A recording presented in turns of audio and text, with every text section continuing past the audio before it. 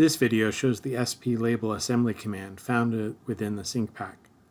This allows you to label assemblies in the Civil 3D drawing. In Civil 3D, if you want to see what the assembly is, you have to hover over the assembly, look in the AutoCAD properties, or create mtext and then create a field to the assembly name. With the SincPac, we can just run one command and it'll do it for us. To run the command, you can go to the SincPac 2 tab, the Alignments and Profiles panel, and from the drop-down select SP Label Assembly. When we start the command, we can type SC to get the settings. Here we can choose the location, either above or below the assembly.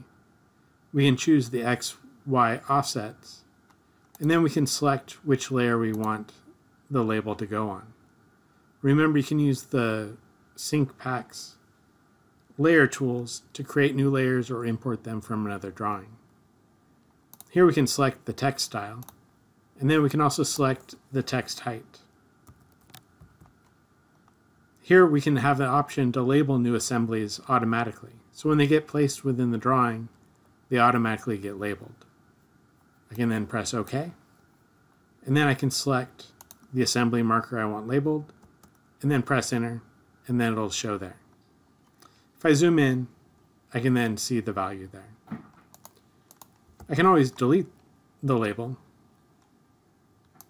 run the label assembly command again, and change my settings to have a larger text type. And then I can hit OK, and then select the assembly, and now it's labeled quite clearly. If you want to change the settings of the label assembly command, you can always do it from the dropdown and select the SP label assemblies and change the values here and then hit OK. Since I had it checked, when I create a new assembly and give it a name and then press OK, the SincPac will automatically add the label to the newly placed assembly. So it saves you a lot of time of having to manually label it in Civil 3D, and it makes it easier to find out what the particular assembly does. And this is the SP label assembly command found within the SincPac.